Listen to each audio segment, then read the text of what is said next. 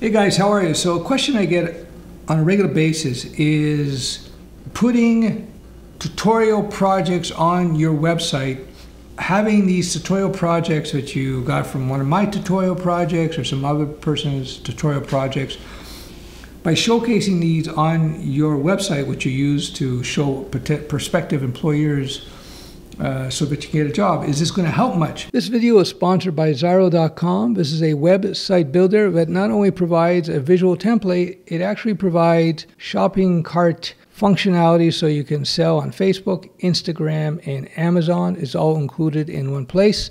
It comes with a whole bunch of templates. You can see that everything loads very, very quickly. The templates are, of course, responsive.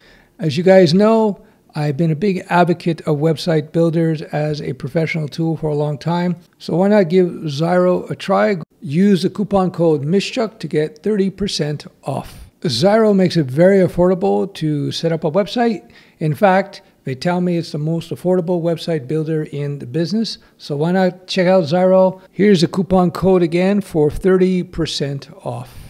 Zyro not only provides a bunch of templates, they also provide a website builder with drag and drop functionality. It even has an AI writer tool to generate your text.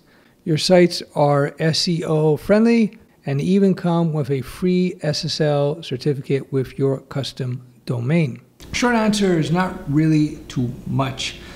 Eh, maybe a tiny little bit maybe a tiny little bit, but when they see that it's just a tutorial that you've done, you just copied a tutorial. That is not being a coder. You have to understand, being a coder is being a problem solver, is somebody who can see a potential job that has to be done and is able to use the power of your nudo, of your brain, to uh, figure out how to solve that problem with code, whether you're doing Ruby, we don't want to do Ruby. Whether you're doing Python or JavaScript or PHP or Java or C Sharp, whatever. Doesn't matter the technology. The point is, you're so much better off to show real world projects that you've done for real companies. So when I what what I teach uh, the noobs, what I teach people are once you know your fundamentals, you got to go out there and do one to two, maybe two to three stagiaire projects. What does that mean? You go find some small company or maybe a friend who wants to start a company or start a website for their business, and you want to run through the process of putting together their website or their basic web app or their basic mobile app. Now, I'm not talking about building the next Facebook. I'm talking about putting to some, something together that's relatively modest, but which demonstrates that you're able to work with other people, uh, communicate with them, get requirements, and actually put code down that actually works. When you're just copying somebody else's project, you're just copying somebody else's uh, demo about how to that you could potentially build a shopping cart or potentially build a CMS. Uh, these are not set in stone methodologies you know, most of the time. And if I'm looking to hire somebody, if I find that they're just showing me projects that they picked up from some course, it's not going to impress me. It's kind of plagiarism. It's like, you know, it's kind of like copying um, somebody else's story. You know, say, oh, I'm gonna look. I'm gonna here's here's look at this book. I, the story I wrote. It's called Harry Potter. And the guy will say, Isn't Harry Potter written by somebody else? Yeah, it is, but I, I, I took Harry Potter and I changed the character from Harry and I call him Sammy Potter. And that's just, you know, I'm, I'm making a joke here, but that's essentially what you're doing when you're just copying a project. The whole point of the project tutorials is just to show you quickly how to use a particular tech. Like, okay, a project on how to I don't know, Node.js project or a Python Django project, a quick one, you know, how to build a Twitter clone. Yeah, showing that, like, marginal importance, but you're much, much better off to spend your effort actually taking that leap, getting the stagiaire projects, if you will. You know, everybody, a lot of people go to boot camps and spend five, ten, twenty thousand, and, and a lot of people, the reason they go to the boot camps, they figure they need to get they need to do this um, stagiaire work. Stagiaire means you go work for a company for free because they're training you.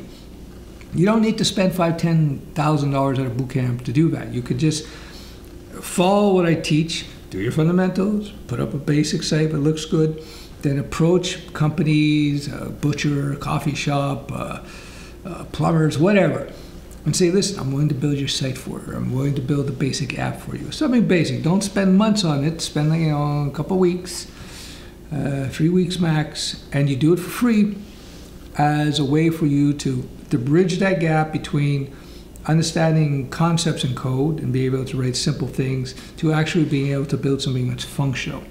So very important that you get away from this whole idea of being the tutorial that 10,000 other people are doing is going to be your ticket. The tutorial, the tutorial should be a very small part of the process. So if you're looking, again, to create credibility, because that's what you're asking me ultimately, should I put up a tutorial project that I, that I did as an example of my work? Unless you really change it quite a bit and you emphasize that. But even then, when you go up to somebody and say, look, I copied this, I changed this and this, they're going to go, Okay, you copied something. But how about if you said, you know what, I built this project for this little restaurant here. They needed this, this, and this, so I leveraged this and this and this technology because these is this and this and this reasons, and look what I put together. That is 100,000 times more valuable and more impressive. Okay. The other thing you could do in terms of building reputation, a low uh, hanging fruit, if you will, is to get to do certification exams. Now, in full transparency, I do have these, I sell them, but again, the certification exams are not nearly as important as actually going out there and doing the stagiaire work. That is such an important thing. If you do that, uh, your chances of actually getting a job, getting whether it be working for somebody full time or becoming a freelancer, whatever, are increased, you know, tremendously, tremendously. So you got to get away from this idea that you're going to just show, do a tutorial that you copy off of Udemy or YouTube, and that somehow is going to land you a job. It could help marginally if you change it up a bit, but it's nothing compared to actually having built something for real for some other person, some whether it be a business or somebody who wants to start up a business. Okay, I hope that helps. Again I could put out five, six tutorials and sell you the tutorials. Hey, you should learn these tutorials, you know, and make money and say, hey, put these up on your resume. I'm telling you the truth here. I'm giving you uh, the route that works. And uh, so there's nothing to sell. You know, you go out there, you do the projects for a third party person, and you'll be much better off. Again, there's that. Um, there's that leap you're going to have to take when you go from learning to code and becoming a coder, an actual coder who does something productive. If I'm hiring somebody, a coder, a programmer, developer, I don't want them to be tutorial people. I want them to be I want them to be problem solvers, somebody who actually knows how to code in a practical way. And the only way to do that is actually go out there and do a real project, small little projects. Like I say, two to three is, is, is optimum. And then once you have that, then your chances of getting a job will increase uh, exponentially. That is for sure.